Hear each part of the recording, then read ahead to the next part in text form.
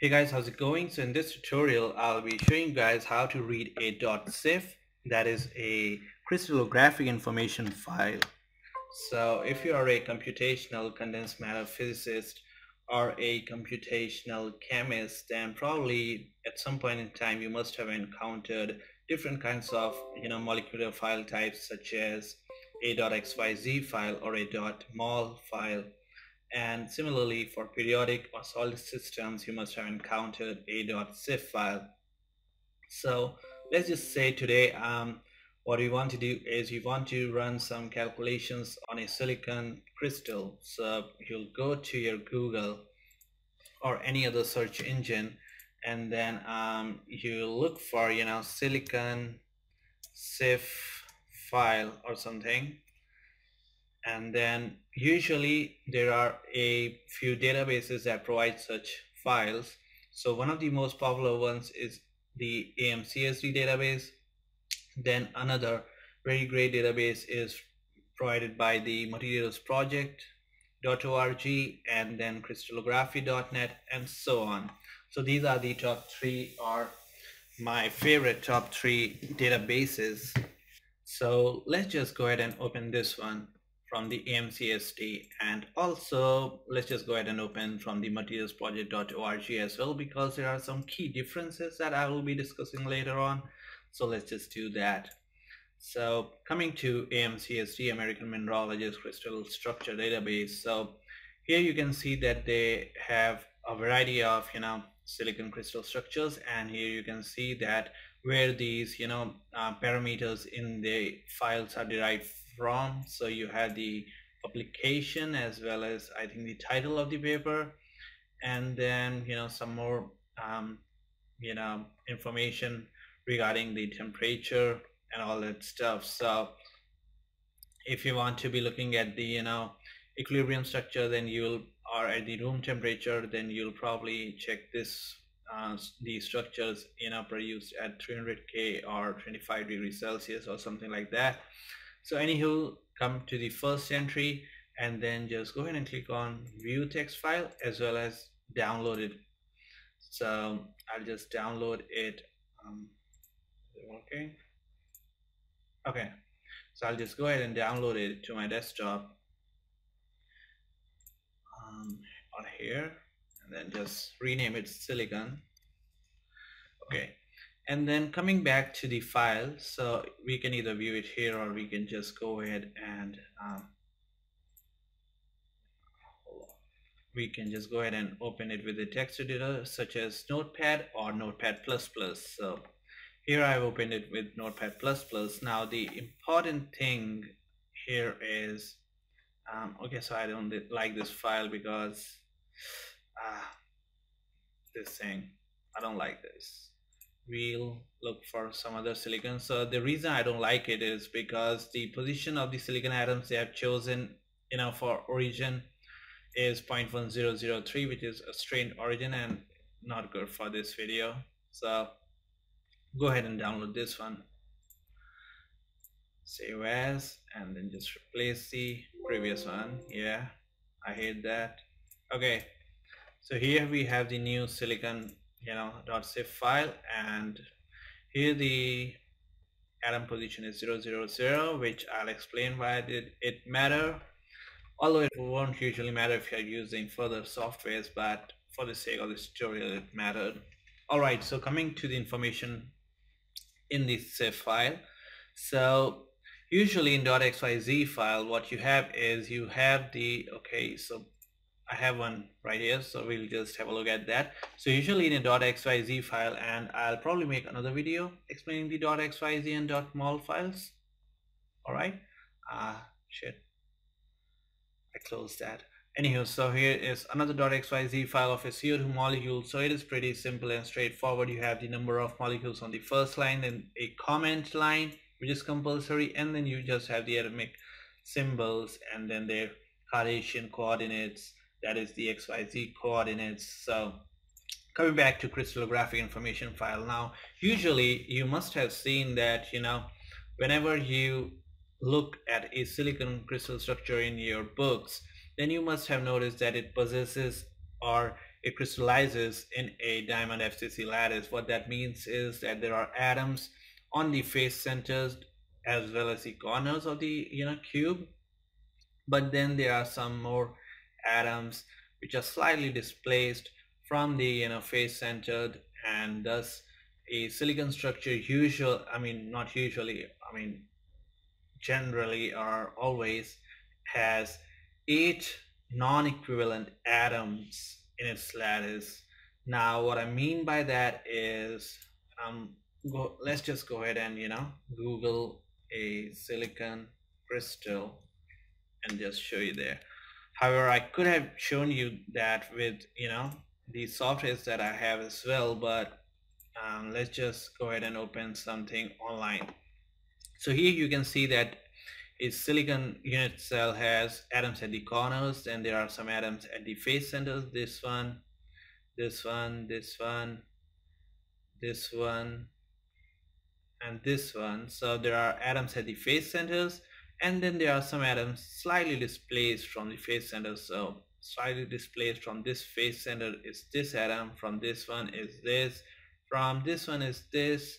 So okay so the total number of non-equivalent atoms that you can see here is the this atom at the corner is equivalent to all the atoms at the corners so there's one atom here then the face center atoms um, so this atom is equivalent to the atom on the opposite face. So overall there are three atoms at the faces that are equivalent and non-equivalent or unique. So we have till now one atom at the corner and then three at the faces. So there are four atoms at non-equivalent positions and then there are four atoms inside the lattice which are of course unique because you cannot you know translate them to i mean of course uh, you will create another unit cell after it using translations but at least this whole unit uh, the atom is not being shared by multiple unit cells while the corner atoms are being shared by eight unit cells and the face atoms are sh being shared by two unit cells. So that is the takeaway from you know your textbooks that silicon atom in cubic symmetry and mind you this symmetry is a i mean this is a non i'm sorry uh, this is a conventional unit cell i believe they call it and it's not a primitive unit cell and that is obvious because um, a you know primitive unit cell only has a single lattice point. So you know the points must be you know um, how to explain it. So in a conventional unit cell there are points at the corners. However in a FCC you know unit cell cubic unit cell then there are points at the faces as well. And that gives a you know lattice points of total four. So um, you have one lattice point at the corners and then there are lattice points at the faces. So that gives you a total of four. So this cubic unit cell of silicon is not a primitive unit cell as it has four lattice points. And then you must be wondering that if it has four lattice points then how does it have eight non-equivalent atoms? So that is a you know popular doubt that I've seen people have and I had that myself for quite some time but you see there is a difference between um, a lattice point and a basis. So what happens is there are two atoms you know for each lattice point in a silicon unit cell. So one is at the face and the other is slightly displaced. So the bases can have, you know, more than two atoms, oh, sorry, more than one atom um, for each lattice point. And that is exactly how you will form a, you know, NaCl or something like that. So although there are NaCl must have some, you know, specific conventional structure, but then there is um, another atom associated with that lattice point as well. So that is the thing. So coming back to you know the conventional representation of silicon so this is the conventional unit cell representation and then there is a primitive unit cell of silicon as well um, which um, I don't remember uh, it although I should. It is kind of like a you know all the angles are 60 degrees and then there's just one atom at the origin and then there is another atom um, associated with that lattice point that is slightly displaced. So of course a primitive unit cell would only have a single lattice point so that is the origin. And then two atoms are associated that is the basis is composed of two silicon atoms so that is that and then coming back to you know our crystallographic information file. So till now I have blabbered a lot about you know silicon um, unit cells and conventional and primitive unit cells. Now the reason I did that is so usually one would expect either a you know a crystallographic information file should provide the crystal information right? So either it could provide the information for the conventional unit cell or it could provide the information for the primitive unit cell. So it has provided either of those. Now here you can see that the alpha beta gamma angles are 90 degrees. And uh, I of course I um, uh, remember that I haven't explained the structure of the file as yet but just bear with me for a moment. And of course it is intuitive that anything called cell length is corresponding to the lattice parameter a b c and then cell length alpha is 90 beta is 90 gamma is 90 of course it is pretty much self-explanatory.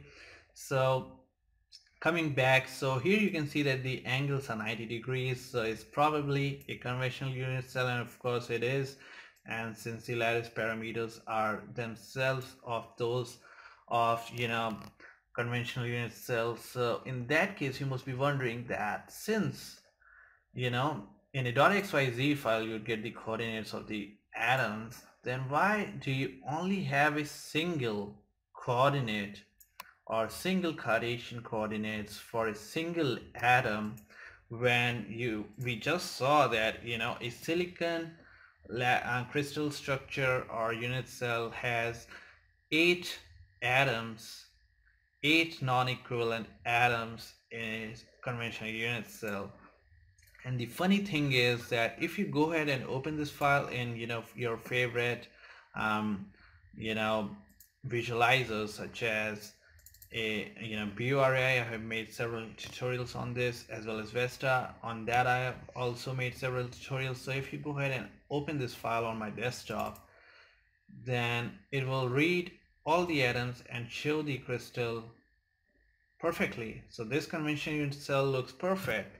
And then the funny thing is if you go ahead to the atoms tab then you will see that there are only eight atom coordinates provided and that is exactly correct since you know silicon uh, unit cell has eight non-equivalent atoms so here you can see that this is the origin atom right here and all of the other atoms are equivalent to it. So just to make the representation you know intuitive and similar to what we see in textbooks they place all these atoms.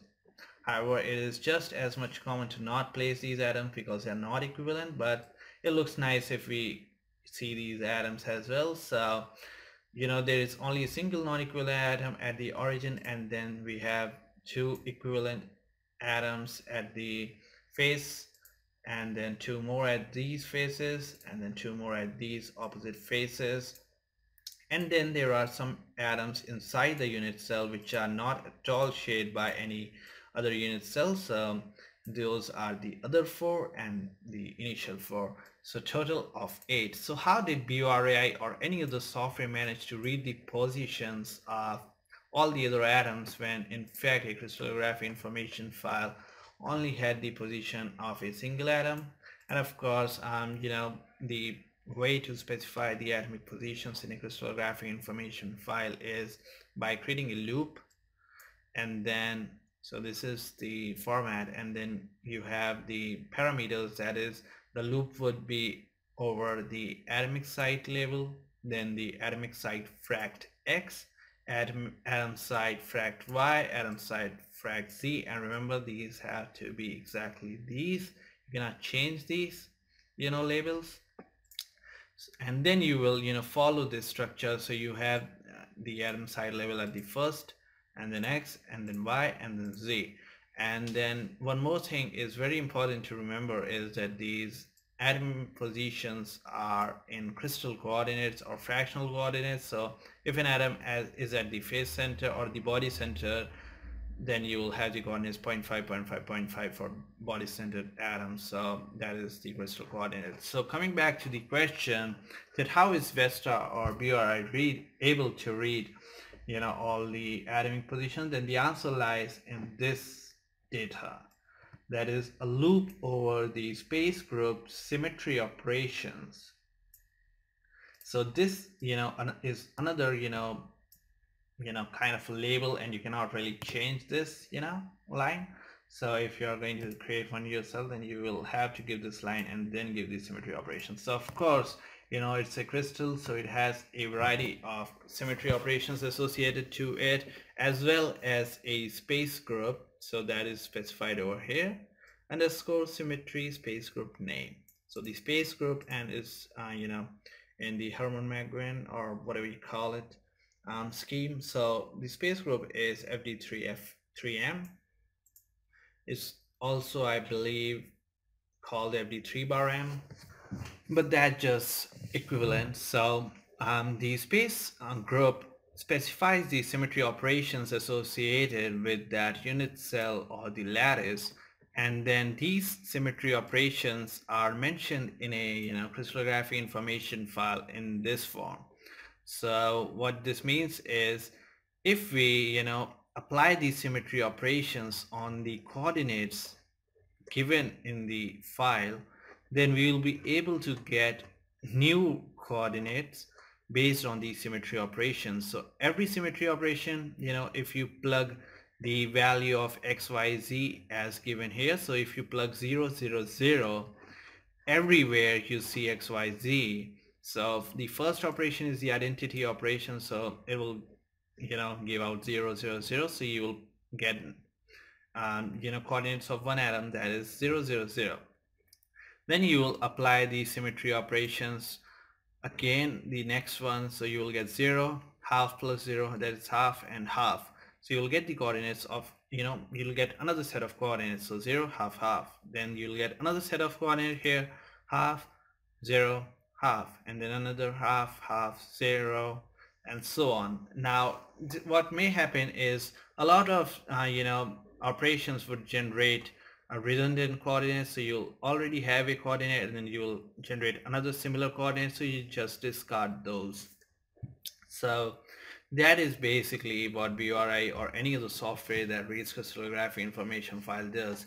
It either tries to find out the symmetry operations given in the file and if they are not given, if this data label or group is missing, then and you know the atomic position is just single this one provided then they'll try to use this space group to and of course these symmetry operations are associated to this particular space group so they'll try to use this space group and the symmetry operations in their database to generate the lattice and if both of these are not provided then of course they are just going to you know display a single atom at the origin now coming back to what I told you about, you know, materialsproject.org. So here is another, oh, so here they have shown the primitive unit cell representation of silicon. Yeah, that's what I meant to show you. So of course, I told you guys that most of the, I mean, all the angles are, I believe 60 degree. Yeah, 60 degrees lattice parameters. And then there's just um, one lattice point that is at the origin uh, also I believe that mm, so there's only one lattice point you know in a primitive unit cell and usually one places it at the origin however we can see that they have displaced it. So you have two atoms associated with a single lattice point that is at the origin and both of them are some distance apart. So just you know in a FCC primitive unit cell there are two silicon atoms but just one lattice point. And coming back to my point about materialsproject.org so here you can download these zip files in different formats. So either primitive or the conventional. And symmetrized is also I believe conventional. So anyway if you go ahead and download this conventional standard then what you get is um, similar to this file over here that I have. So materials project basically I believe generates files using PyMatGen and what this Python library does is it just basically says that let the space group name be p1 and just you know ignores all the uh, you know space group and symmetry stuff and just you know um, creates the or they provide the crystallographic information files the they provide the coordinates for all the atoms and then just a single symmetry operation that is xyz and that's it. Now what you can notice right here as I'm also noticing right here is that there are some differences in the conventional of both these crystallographic information files. And this is why when I wrote the my own software for reading these I had a you know big uh, amount of trouble. That is because they change the keywords associated with different operations all the time so here you can see that the keyword is symmetry equiv pos as XYZ. However, here the keyword becomes symmetry, I'm sorry, space group SYMOP operation XYZ. So they use a lot of different standards. So usually softwares have to keep up with the different soft uh, standards used. And they are also using an ID here, which wasn't being used here. Although since they are in a loop, so of course the loop handles all that stuff and then there are a variety of more labels used in the atom you know data part. So here they also provide the atom type site type symbol as well as the label. So label is basically just for labeling purposes. However the type symbol basically tells the software that yeah it is of SI type. However here you could see that they just use um, label here. So of course softwares will have to keep up with uh, how to read it. And then um, what else? So here they also provide the site symmetry multiplicity which is one and then the occupancy. So sometimes you could have you know some doping in the system so you'll want to you know specify the occupancy. So you, let's say you dope another oxygen atom at the same position and sometimes uh, you know there are these kinds of structures and research going on those so you'll specify the uh, occupancy for silicon at this position as 0.5 and another atom as 0.5 as well. So that is also some things that are done. Um, yeah so that is um, how you would go about reading a crystallographic information file. So the major takeaway is you just basically um, the main you know goal behind this tutorial was to demystify the science behind how to get all those coordinates that these softwares you know extract from this single coordinate. So that was the major takeaway from this tutorial. However you also learned that of course there are basically in a crystallographic information file there's always a you know these six um, data um, parameters about the A, B, C lattice parameters as well as the alpha, beta, gamma and you can see that their names don't change across different formats. And then there is variety of other information chemical formula cell volume and all that other stuff. But of course cell volume can be calculated from this as well. And the reason you know and to give you since this whole video is on .cif file let me just also share some more information. So the reason you know .cif files were created was not for you know um, initially it wasn't for computer visualization. So it was just you know a neat little way while uh, you know authors submitted their manuscripts and their research. So it was a neat little way to you know summarize all this stuff that they found and then however you know with the advent of computers they started you know make this format more standard and more useful for computer reading. And so of course you know every other database and some of that stuff you know initially they follow different formats. So there's a lot of you know discrepancies across the formats. But the good thing is most of the softwares are compatible with almost all of those. However mine isn't so my software CrysX um, you know which I developed recently this one. So I tried to make it compatible with most of the formats but of course I'm not perfect in programming or don't get so much time so it doesn't you know sometimes it isn't able to do the stuff but so that is it that is how you read a .cif file so I hope this you know tutorial helped you guys a lot. And in case it did then don't forget to hit the like button and subscribe to my channel for more videos like this. And thanks for watching and have a great day